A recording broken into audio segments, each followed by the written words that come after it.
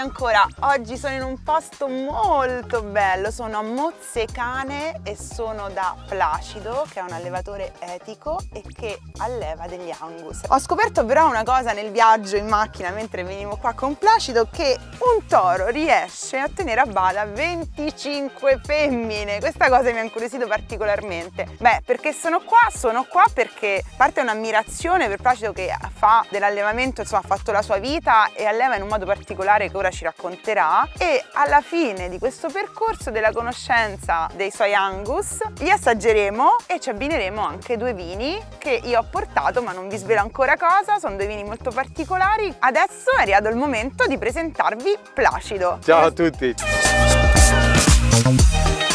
Ciao ragazzi. Grazie dell'ospitalità. Grazie di essere venuto a trovarmi. Vivi in un posto meraviglioso. Io sono arrivata con della musica classica. Viviamo in campagna, quindi dopo la musica ce l'ho aggiunta io per fargliela ascoltare ai miei animali. Infatti, perché era molto alta e si sente ovunque, quindi loro ascoltano tutto il giorno musica classica. Eh, diciamo quando sono vicini a casa o alzo il volume oppure la sentono, ecco. Che cos'è l'Angus? Sono Immagino. loro, ve li presento, questi sono gli Angus. Sono bovini Bovini da carne, eh, la loro, hanno la loro caratteristica senza corni, il manto nero, okay.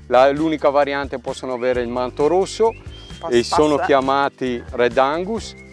La loro particolarità è che si prestano molto bene al pascolo, mangiano l'erba e convertono eh, molto bene in carne. Poi si sente il gusto dell'erba nella carne e la loro caratteristica in più è la loro marezzatura, infiltrazione di grasso dentro la carne. Sono resistenti, sono tranquilli, tranquilli, ovviamente dipende da come sono allevati, da come sono tenuti. Hanno tutti il loro carattere comunque. Abbiamo la monta naturale e questa è la loro vita che io ho cercato di rendergliela il più felice possibile. Insomma. Bellissima perché loro stanno al pascolo liberi, felici, giusto? Quando hanno fame tornano, seguono l'ombra. Esatto, loro vanno in cerca dell'ombra, mangiano l'erba che vogliono, vanno in cerca dell'acqua che noi abbiamo messo agli abbeveratoi. Quello che ho cercato di fare io è cercare di fare una carne il meno stressata possibile, che l'animale non sia stressato. Questa cosa mi incuriosisce perché anche nel mondo del vino va, mettono ad affinare il vino nelle botti, spesso si usa la musica classica, quindi c'è qualcosa Poi, che esatto, esatto, quindi io ho detto c'è chi la fa ascoltare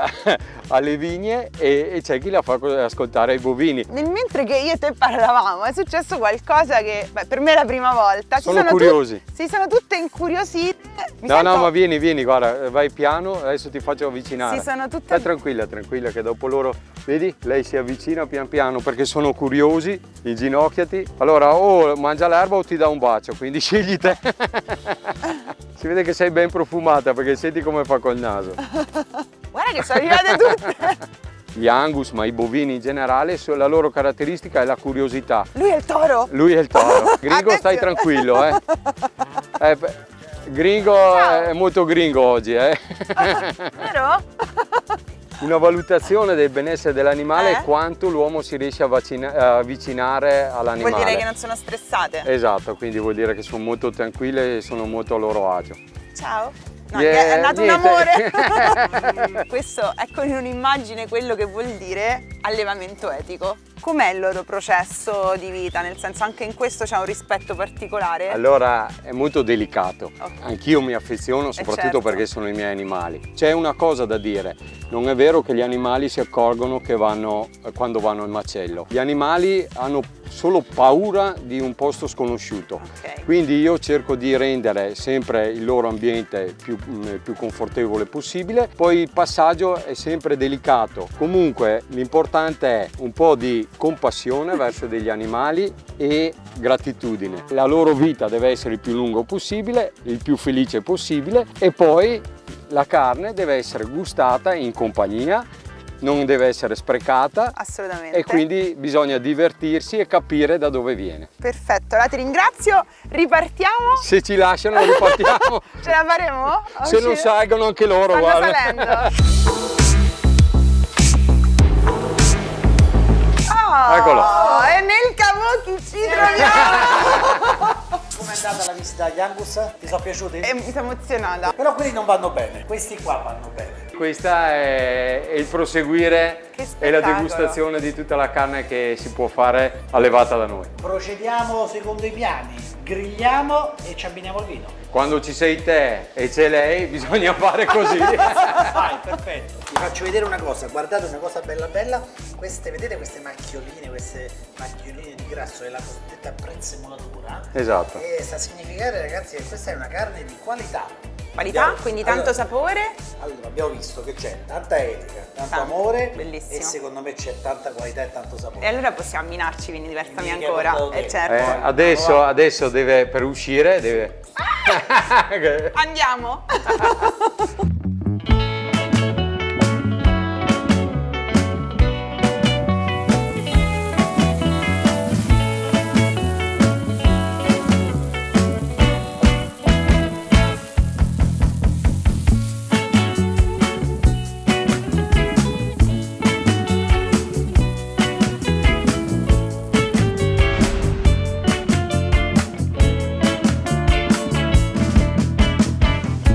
Bene, tu hai portato la carne, abbiamo già assaggiato tutto, io ti ho portato due vini. È importantissimo. Importantissimo. è fondamentale. questo qua è un Malbec, è quello che ti ho versato mm. e siamo, si chiama Fin del Mondo, questo a me è il nome dell'azienda, mi piace da morire perché siamo in Patagonia, quindi proprio, no? Sai? Infine, e secondo me rispecchia un po' quello che, che fai tu qua. E il Malbec quest'anno all'Expo che si fa a Bordeaux, ogni due anni c'è questa mm. fiera dove vengono premiati insomma i vini, te la faccio molto semplice, il Malbec è stato premiato come miglior vino al mondo. Ora questo è un, vi- è un vitigno che si faceva a Bordeaux proprio per fare il taglio bordolese. Hanno iniziato a farlo in Argentina, quindi proprio tra le Ande. Sembra che lì c'è la maggior escursione termica al mondo. Ovviamente eh, come no, per, per gli animali la terra è importante anche per l'uva e lì questo vitigno dà proprio il meglio di sé. È giovane, è un 2019, sì. però in realtà può stare anche 10 anni e diventa ancora più piacevole. Senti che c'è una bella acidità ancora? Sì. Questo mm. significa che puoi invecchiare. Però quando poi l'associamo alla tua carne che comunque è molto saporita e ha una bella complessità, questo vino secondo me riesce a pulirti la bocca e darti la piacevolezza. Quindi un bel bicchiere di vino ci vuole adesso. Assolutamente sì, quindi assaggiamo questo e poi... Vediamo come ci sta. Vediamo come ci sta. Evviva! Grazie ragazzi. Dovete fare un boccone di carne prima. Vado io. Posso dire? Secondo me ci sta maledettamente bene. Cioè si sposa, sarà che c'ha un tannino poco aggressivo? Questo è un vino buono buono è un vino bello, bello corposo bello, è potente è proprio un vino potente però ha questo tannino molto delicato e poi a seconda dell'invecchiamento adesso qua sentiamo della frutta rossa molto fresca però con gli anni diventa anche frutta sotto spirito quindi un po' più particolare anche con la carne cambia proprio sì, sì, la, la bocca si, si, si sporca proprio di vino e veramente e ti, e ti richiama di mangiare no? Mm. Infatti io mi richiama di mangiare. Io richiamo il bicchiere, da buon veneto. Beati voi ragazzi che seguite Francesca su Versami ancora perché vi date le chicchette come sto fine del mondo. Vabbè, cioè io non so se è più fine del mondo, la carne tua, Placido, o il vino che ci ha portato Francesca. È un incontro, sai che il mondo è tondo, quindi ci siamo trovati alla fine del mondo. Mentre Francesca ci prepara il secondo vino, io volevo fare una nota tecnica su questa carne. Siamo di fronte a un Angus, ragazzi, di serie A. Francesca vi ha fatto vedere come nasce, come cresce, in che modo viene allevato. Allora, è una carne sontuosa, elegante, è succulentissima, è molto molto succosa, in cottura non perde praticamente mm, peso e eh, è molto convincente, nel senso che è una carne marezzata ma che non appesantisce e davvero ve ne mangereste una chilata intera, non smettereste mai di mangiarlo, questa è la dimostrazione che è un allevamento etico, bestie di serie A allevate in maniera uh, molto rigorosa, molto seria e molto etica, danno diciamo alla fine cosa? Danno un risultato strepitoso di una carne nobile, succulenta, tenera, uh, saporita, una carne che sa di carne e che non è ruffiata italiana come tante carni dell'est Europa o del nord Europa che abbiamo imparato a conoscere in questi anni. Bene, col io secondo vino. col secondo vino ho versato un primitivo, quindi siamo spostati totalmente, andiamo in Puglia, a Manduria, terra di primitivo e qui abbiamo un'altra espressione. La cosa che, che, mi ha portato a unire questi due vini è comunque la potenza di questi vini. Hanno tutti e due 14 gradi, pure per farvi vedere questa cosa, no? Come si sentono in maniera diversa. Qui uno dice oddio questo è un vino che ha una gradazione molto alta perché? Perché il primitivo comunque fa parte di appassimento in pianta quindi sentiamo di più, c'è una parte dolce, no? Prima tu mi hai detto sì, sento sì, una nota dolce. dolce. però siamo portati a pensare che comunque qua c'è più alcol. Invece la gradazione alcolica è uguale. È la stessa, identica. Questa è la bellezza. Cambia ovviamente la terra, passiamo dalla Patagonia alla Puglia. Alla fine del mondo alla fine dell'Italia. Bravissimo. E qui c'è comunque una bella acidità. Se provi a riassaggiarlo la senti comunque sì, una parte fresca. A me mi verrebbe Però è proprio più caldo. Questo più avvolgente, no? Più avvolgente. Qua, qua, senti la, eh, la, la, Puglia, qua la senti tutta. Il sole. Eh. Oh, qua sì, veramente. Sì. Eh, non abbiamo la stessa escursione termica, ovviamente stiamo parlando di due territori completamente diversi, però proviamo. Tu non hai... Gli passo... Ce lo prendo io. Tieni, vai. Gli volevo vai. passare a lui un, un pezzo di carne. Vai.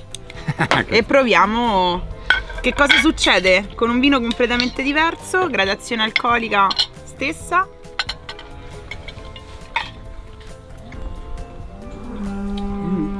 Personalmente preferivo il primo. Secondo me questa sovrasta un po' troppo il sapore della carne. Quell'altro... Mm, Anche quel... secondo me. Mm. Però, vedi no? Sono due vini molto buoni, però per il tuo stile, comunque questa carne è bella saporita ma molto elegante, assolutamente ci sta meglio il Malbec. Quindi io direi di... Andiamo alla fine Francesca, del mondo. Ripassiamo. Due romani sono arrivati a Mozzecane per chiacchierare con un Veneto e alla fine hanno eletto come abbinamento diciamo migliore un vino argentino. -hmm. Abbiamo fatto il giro del mondo. Ma vogliamo brindare anche una cosa? Oggi è il tuo anniversario di qualcosa? Ah sì certo, oggi sono sei anni che sono andato in Colorado e ho fatto l'esperienza di conoscere Temple Grandi che è una donna eccezionale, una professoressa sul benessere animale a livello mondiale riconosciuta da tutti e mi ha insegnato molto che ho cercato di portarlo nei miei allevamenti. Ci Quindi riuscito. sono felice, grazie. grazie Viva. Si deve mangiare bene, non esagerare mai, come si deve bere bene senza esagerare lo sai, mai. Lo sai qual è il motto di eh. Mr. Biffy? Eh mangia, mangia, sano, vivi bene, stai in salute e sii felice. Quindi. Allora ragazzi, oggi abbiamo di nuovo fatto un paragone molto carino, quindi siamo andati sulla stessa gradazione alcolica, abbiamo sentito che effettivamente non vuol dire niente la gradazione dietro a un vino, perché l'espressione del territorio, se il vino è fatto bene, è sempre fondamentale. Quindi grazie, seguiteci, ciao!